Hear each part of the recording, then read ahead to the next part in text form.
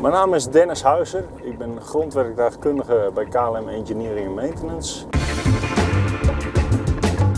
Tussen de vluchten door kijken wij ehm, naar de technische staat van de vliegtuigen. Uh, eventueel technisch onderhoud doen wij.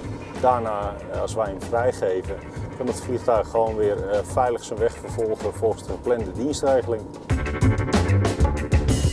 We kijken naar verschillende zaken die allemaal de vliegveiligheid kunnen beïnvloeden, die moeten controleren.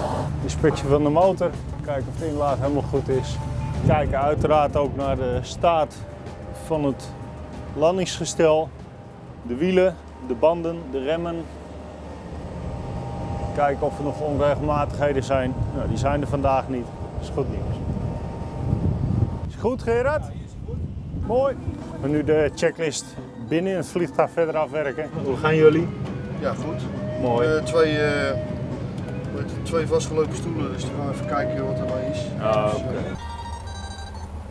Met Dennis, om 10 uur invallen. Ik denk wel dat het mogelijk is. Het zou kunnen dat het vliegtuig dus eerder moet vliegen dan uh, oorspronkelijk de planning was. Dus we gaan het druk krijgen.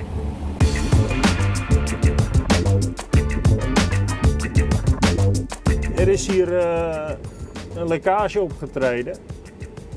Ik moet even kijken of ik de bron van de lekkage kan vinden. Het gaat nu even druk worden.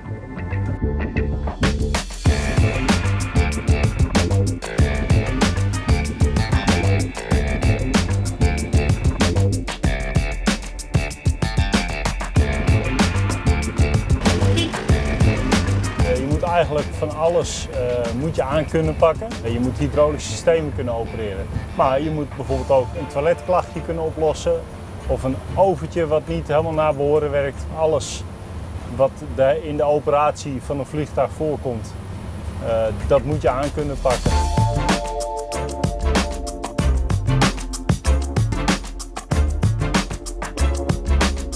Bravo Victor Bravo wachten wij nog steeds op wat water. Zodra we dat hebben, dan kunnen we het testje gaan uitvoeren. Kunnen we de laatste klacht afhandelen.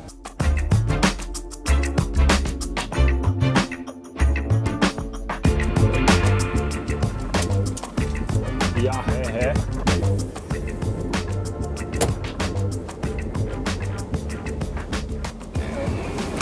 Zo, goed nieuws. Fixed.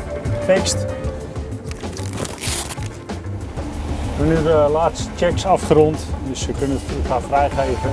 Dus uh, technisch helemaal oké voor de operatie. Heren, goede reis. Tot ziens.